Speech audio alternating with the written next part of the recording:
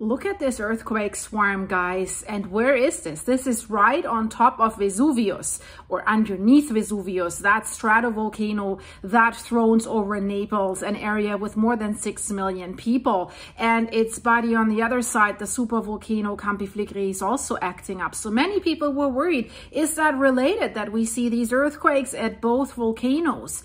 So this is over 50 earthquakes so far, and it's still ongoing And there are scientists that are saying Vesuvius is overdue. There are scientists that are saying, well, it might not have a major big eruption for several centuries or for a few hundred years, but it could have an eruption because the last eruption was in 1944 and we get back to this because there are a few strange things and we know Vesuvius is famous for wiping out Pompeii and Herculaneum in the most how can I say it, guys? I don't want to say fascinating, scary, mysterious way if we look at these statue-like people that are still visible from that in, in 79 AD. And if Vesuvius erupted today, Vesuvius would do a much bigger damage. And given its potential, Vesuvius could endanger all these 6 million people in the greater Naples area and wipe out the city of Naples. And Campi could do the same and even worse. So the region also Vesuvius, not only Campi Flegrei has also another, they call it squatter dilemma, with over 700,000 people illegally residing on the slopes of Vesuvius. And they're highly, highly at risk. There's a super ultra, ultra, ultra red zone and if there is an eruption, it will likely an incredibly forceful explosion that is marked by flying rock and ash at speeds of at least or up to 100 miles per hour. So if you live on the slope, game over. The government tried to make them move away with incentives of 30,000 euro per person, but that that doesn't get you far. So what does that mean that we have this massive, massive earthquake swarm at Vesuvius right now? So just a few hours ago, this earthquake swarm has started and has continued through the night in Italy. And the tremors, over 50 tremors so far, they're not super strong, they're not super big, reaching the two magnitude two mark. Um, but it's a swarm, they're there and magnitudes, yes, in the microseismic range. Strongest quake so far, some say it's 1.9, 1.5, and the, but the epicenter, and this is what we have to look at, is ultra, ultra shallow. It's only 200 meters. That's nothing. But of course, you have to consider that this stratovolcano is towering above sea level. So that's where these measurements refer to. But all the quakes, very, very shallow, also located underneath the main cone, underneath the main crater.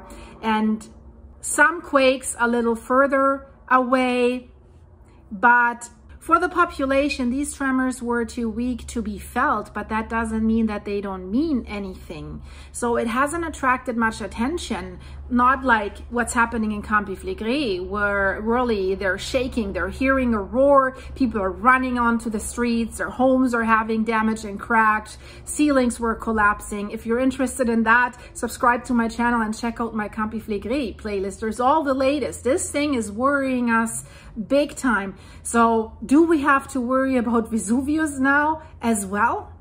So by now, more than 50 earthquakes, probably we're at 60 by now. And what they have always told us, what the officials always said, well, if we see earthquakes at Vesuvius, and we have seen larger ones in the recent weeks, like 2.6 or something, they're usually associated, what they're saying, with the subsidence of the crater cone that is subsiding since the last eruption. It has been slowly sinking for several years now. And they're saying that this process is resulting, this shrinking process is coming from the cooling of the volcano's vent systems.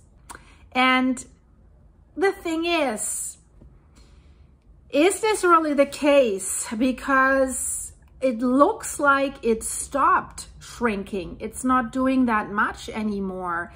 The volcanologists of the INGV, the Italian Institute for Geophysics and Volcanology, they have the Vesuvius Observatory. They're watching over this and they're saying that the shrinking is continuing.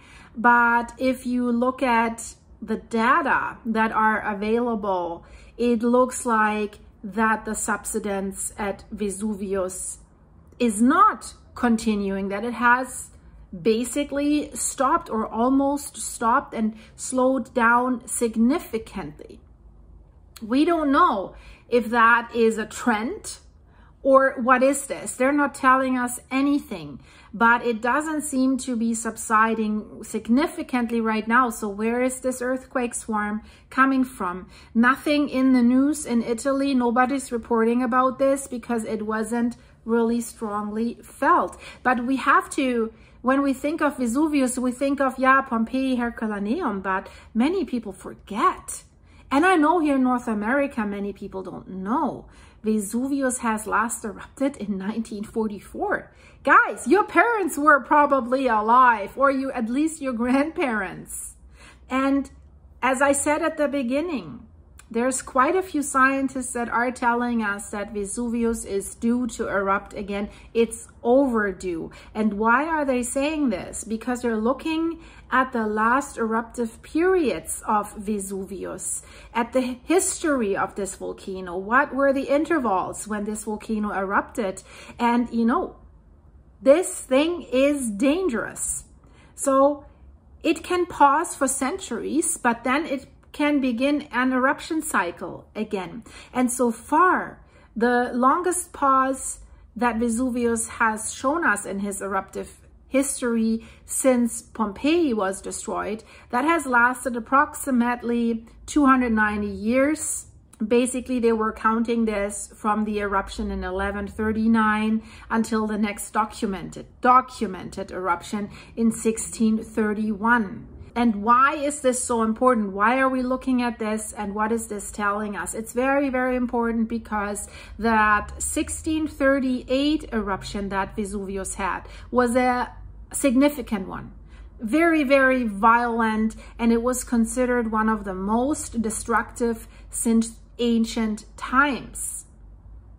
And this eruption in 1638 has marked a new eruption cycle, a new active phase of Vesuvius. And during that phase, it showed more frequent eruptions. So this eruption period, 313 years long, they had more than 40 documented eruptions, maybe more. That's the ones we have documented. And also Vesuvius had, and that's also concerning, longer periods where it had continuous activity. Something like Etna is doing right now. Are we in like the 19th eruption or something like this? And at Etna, it's getting stronger. They're getting stronger. So Vesuvius could erupt continuously. Imagine that with one of the most densely populated areas there is, Naples, greater Naples area between Campi Flegrei, the supervolcano, and Vesuvius. You see it here on the picture behind me. It's absolutely crazy.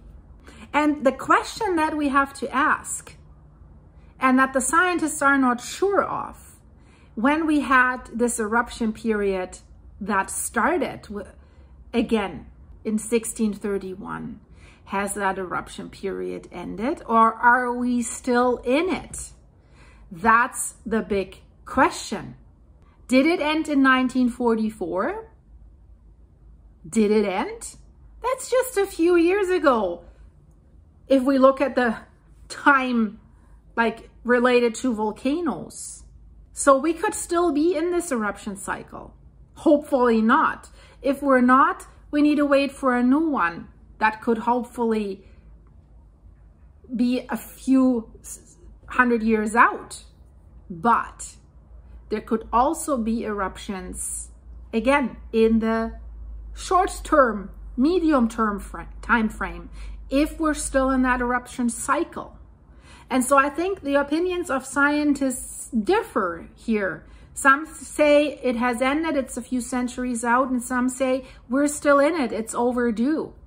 What concerns me a little bit and why I'm tending more towards the theory that we could see another eruption is because 1944, that's not a long time ago. If that was 150 years ago, we could say, ah, maybe in the next 150 years it's going to erupt. But this is a little bit strange, guys. So I thought I'll show you these earthquakes because they are quite significant in the numbers. I haven't seen a swarm like this the last two years. So stay with me, guys. If you like the video, please like it, share it with your friends, and check out what is going on in other areas. I'll put the videos in the end screen, but you have to subscribe and go to my channel start page. There you see all the videos because in the end screen, there's four. If you click one, you lost the other ones. So go to my channel page. You'll find them there.